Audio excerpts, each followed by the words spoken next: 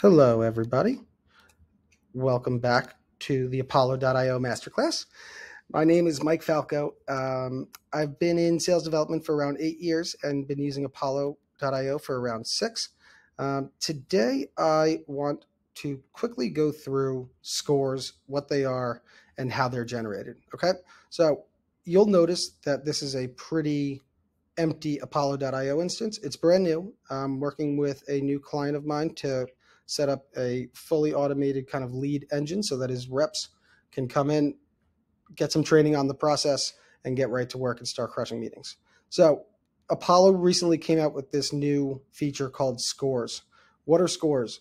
They read your past results to try to predict future success.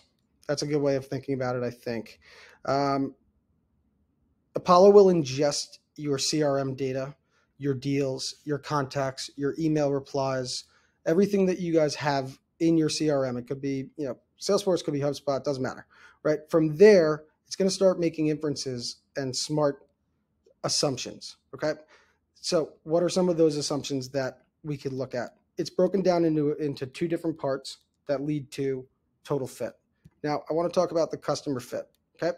So, we can excuse me there, we can filter down based on any of these keywords. And when you see customer fit here, you're thinking about both the contact and the company. Okay.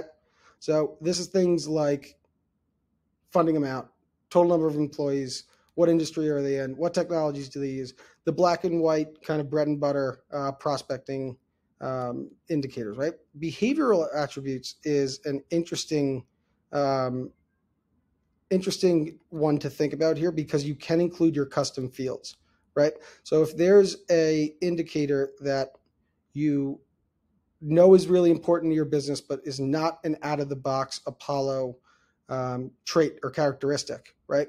You can create that, standardize it across all of your systems, and then Apollo will also start to make these predictions on the scores based on that custom data. So this really is a algorithm for you to train with correct data. Okay, so let's just go through quickly here. We're just going to call it testing one.